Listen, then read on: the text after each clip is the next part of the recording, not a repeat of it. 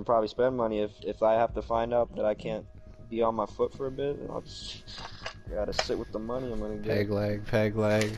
Yeah, that's it. doubt- nah, if I can walk now, but I'm still gonna be at work. I gotta make Just money. call the Help a Puss hotline, bro. Help a puss.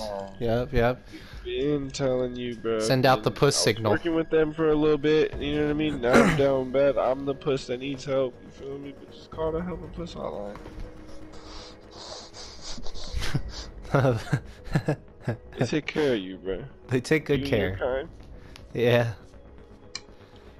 If you would like to speak with someone urgent, please press nine. Press your fucking penis. Shit.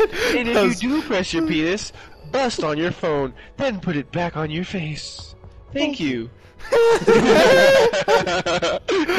oh shit.